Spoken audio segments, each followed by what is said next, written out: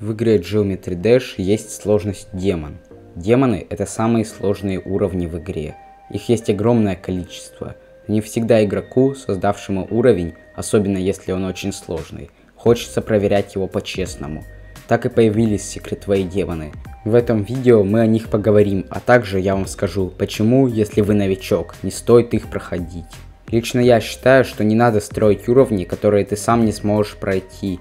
Во-первых, ты не сможешь проверить, насколько хороший геймплей, а во-вторых, верификация составит для тебя проблемы. Я не понимаю людей, которые строят экстрим демон, а потом выясняется, что он проверен с помощью секретвея. Если уж построил сложный уровень, то пройди его.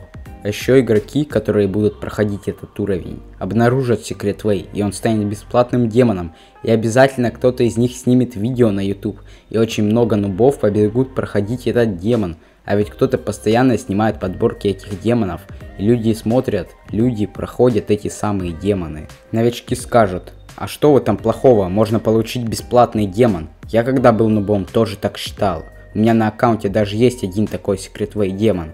Но теперь мое мнение изменилось. Я вам крайне не рекомендую проходить такие демоны, и сейчас объясню почему. Допустим, вы прошли демон с Way, и у вас на аккаунте появился ваш первый демон. Но что вам дал этот демон? Просто цифра 0 сменилась на цифру 1, и это то, ради чего вы проходите демоны? Если вдруг вы новичок и не знаете, для чего, собственно говоря, надо проходить демоны, их надо проходить для того, чтобы повышать свой скилл. А повысят вам скилл демоны, которые намного легче, чем должны быть. Нет, не повысят.